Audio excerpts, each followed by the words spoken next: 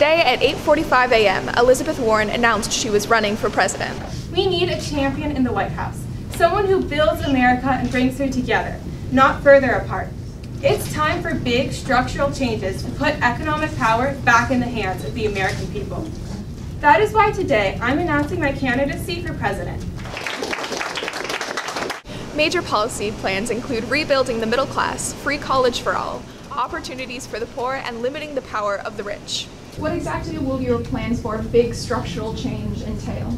Um, I'd like to make policy changes that address climate change, and I'd like to expand access to schools and education, expanding criminal justice. This announcement ended with a question on her views and policy goals for abortion, which she refused to answer.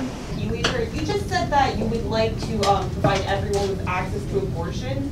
What would you say to the unborn children that that would kill? Um, I believe that um, when um, a woman is no, pregnant... No further questions, thank you. We will have a press conference at 1025. Frankly, I did not agree with many of Warren's policies, but for her, what truly showed me that she is a disgusting politician and person was when I asked a very simple, straightforward question about protecting unborn children that are currently being ripped out of their mother's wombs and murdered.